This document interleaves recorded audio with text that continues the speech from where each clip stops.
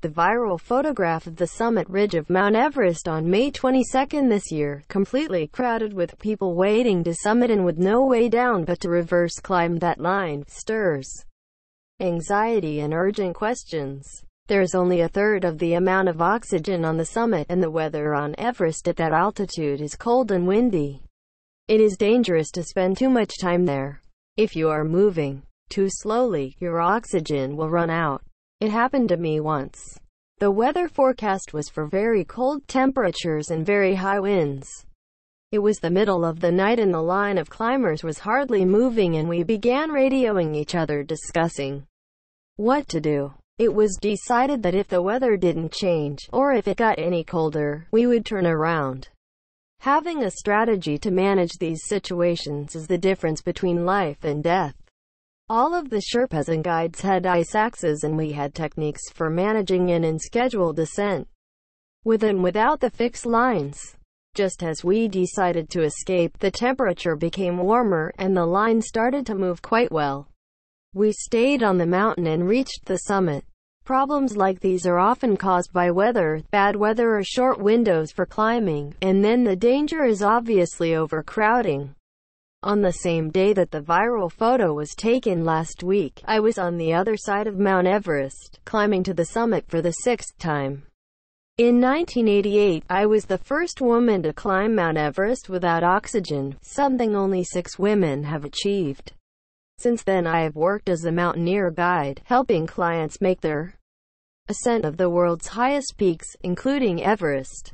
This trip was my first ascent from the northern, Tibetan side of the mountain. My small team of four, me, my client Roxanne Vogel, and our two Sherpas Mingma and Pazang, climbed behind the rope fixers. Roxanne made this ascent of Everest within 10 days of arriving in China, a world first. Most climbers spent weeks acclimatizing but she was able to achieve this lightning ascent with a year of intense physical training, hypoxic training, climbing volcanoes, using a high-end operator and paying for lots and lots of oxygen as well as a private guide, me. When we reached the summit at dawn on the morning of the 22nd we were the only climbers on Everest coming from Tibet. We had no idea that on the other side of the mountain, huge crowds were on their way from Nepal. This is not to say that the northern side is always crowd-free. On May 23, the day after our ascent, many people attempted the summit from Tibet and there was a sad death from a heart attack on the descent as well as the rescue of Australian man Gillian Lee. As we climbed, we passed three human bodies, a reminder of the dangers. In spite of this being my sixth ascent, I had not often seen bodies during a climb. These bodies were from another season, still tangled in old ropes. I asked Mingma if we should cut them down to get them off the path, and he said no, it was more respectful to leave them there. The three bodies all had the same colored suits and I wondered if they were all from the same team. I feel my huge amount of experience and excellent support team significantly reduces the risk of getting sick or dying. I know how to turn around on the mountain. I can read my own oxygen bottle to be sure I don't run out. I can abseil on my own and climb without fixed ropes. I can probably get a client down the same way. I have communications and help from an experienced Sherpa who also has access to plenty of oxygen. And I make a point of not climbing on very crowded days. Once by accident was enough. To a certain extent, on Everest, the more you pay the more support you can get. This means more of your equipment is carried by Sherpas, which crucially includes more tanks of oxygen. But you still have to be physically fit enough to climb the mountain. Wearing crampons, spikes on your feet, and scrambling up steep rocks and snow is not easy. The simple technique of using a fixed rope as a handrail rather than literally pulling oneself up the mountain on a thin, possibly breakable cord demands skill and experience, skills seldom considered in the race for the summit. Tragically, this season 11 climbers died attempting this life-changing feat. Seeing bodies is a very sobering reminder of our fragile grasp on life at extreme altitudes.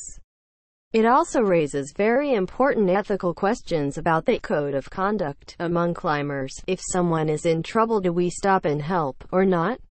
This is an emotional question. I was part of the first ascent by a New Zealand team of Dhaulagiri, the world's seventh highest mountain at 8,167 meters. On summit day, we passed a team who asked us to keep an eye out for a man and his Sherpa who had been missing for three nights. We found him alive, gave him some water and continued our climb to the summit. Five hours later, after returning from the summit, we picked him up and descended with him. Postponing rescue like this is against one's instinctive response to grant help. However, this man's team had not gone up again to look for him. He had been left there. His team did not have enough Sherpa staff and those staff were overworked.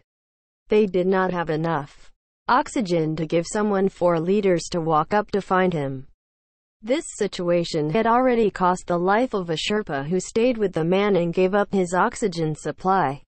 Waiting for this man left another eight people with life-changing frostbite, the loss of almost all fingers and or toes. This happened in excellent summit weather. If the mountain is full of that level of self-responsibility, what is your benchmark for self-sacrifice? These are extremely tricky questions that echo years later. Overcrowding on the Nepali side of the mountain has occurred more often in recent seasons as more people are granted permits to attempt the summit. But this year, there were more complications. The climbing season lasts only a couple of weeks from late May to mid-June. Monsoon season from June to September closes the mountain to climbers and many avoid October. Bad weather reduced the number of summit days available to climb this forcing the 300 or so registered climbers to make their summit attempts over only three or four days. But sheer numbers climbing the mountain is not the only reason for the crowding. The range of experience of the Everest climbers is also another reason that the line of climbers is not moving along at speed. It is quite common now that people attempting Everest have never climbed a peak over 7,000 meters and some, not many peaks at all. Typically, there are fewer climbers on the Tibet side because China limits the number of people on the north side and has reduced the different number of nationalities on each expedition. This used to be a cheaper way to climb but I believe it has just become slightly more expensive. Climbing via Tibet or Nepal are different experiences requiring different skills. On the north side it is a long, tough climb, along a ridge. It is impossible to bring the bodies down the mountain. This means that if you become sick on the northern side on summit day, things can become a lot more serious than on the Nepali side. The Nepali side is steep snow, but it is feasible to get a sick person down from high up on Everest on this side. The danger of the Nepal side is going repeatedly through the Khumbu icefall between base camp and Camp 2 at 6,400 meters. On the northern Tibetan side, you can walk along and up a glacier to advance base camp, the equivalent of Camp 2 at 6,400 meters, and you can even take yaks to ABC, 6,400 meters on the north side. In contrast, the danger of the north side comes on summit day. Once you gain the ridge at 8,500 meters on summit day, the journey travels along a rocky ridge with lots of tricky technical moves. There are three huge rock steps requiring ropes and ladders, and lots of traversing on sloping rocky ledges. When there is crowding on the Tibetan side there are bottlenecks at the rock steps. Getting a sick person down this terrain would be near impossible. What drives us to reach the highest point in the world is the same as what enthuses us to climb to a viewpoint, alongside any road, curiosity, passion or even obsession. Climbing Everest without oxygen is a purist approach, the epitome of high-altitude climbing. Very few people can climb Everest without oxygen, or have even tried, and it remains one of the more elite goals for a high-altitude mountaineer. Bear in mind however, many people who are extremely good mountaineers would not try to climb Everest without oxygen and would instead focus on being the first to conquer more remote or steeper ascents. I have never tried to climb again without oxygen. It's hard. You need experience, experience, experience. Having attempted the seven summits isn't sufficient training for this kind of mountaineering. But beyond high altitude climbing experience, you also need good footwork, good self-management, and understanding of when you might need to turn back. A good ability to naturally acclimatize also helps too. But as a guide, I must always use oxygen as the climb is not about me, it's about keeping my clients safe, healthy and hopefully successful. To do it we need O2, boot heaters, good radio, communication between guides and lots of Sherpas carrying lots of oxygen. Availability of oxygen becomes a key safety question when climbers are trapped in queues at the summit. Some companies don't provide enough oxygen to stay safe when things go wrong. This becomes a question of cost and many people decide to save the money. The cost of getting a canister of oxygen to the summit can easily run to US 000 and possibly more. Each climber would be wise to take 3 to 4 liters to use the day before summit day and then a further 4 liters for summit day. Sherpas who carry all that spare oxygen need about half of that amount. Better preparation, more oxygen and a good support team are all vital to a safe ascent. But these don't solve the problem of crowding. The climbing season is very short. By early June the Khumbu icefall becomes hard to get up and down and by mid-June the monsoon begins and a lot of snowfalls. Climbing stops until early September. When I started climbing the Himalayas, a lot of expeditions left for the summit pre and post-monsoon. Hardly anyone climbs Everest post-monsoon these days yet there is a whole season available from September to October. I did my 1988 climb without oxygen on October 16. Perhaps the answer is to spread the attempts out across two seasons.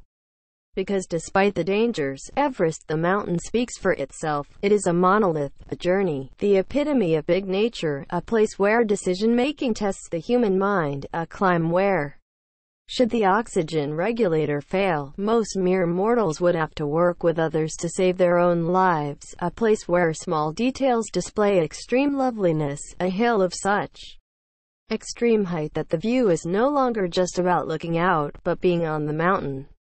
On Everest, the view is outwards and inwards. No one can take away the summit of a mountain once it is inside you, nor the excitement one feels if warm, strong and with skill, you've made to the top of Everest, and back down again. Safely. Lydia Bradey is a mountaineer and guide. In 1988 she was the first woman to reach the summit of Mount Everest without oxygen. Pictures, Triumph and Tragedy on Mount Everest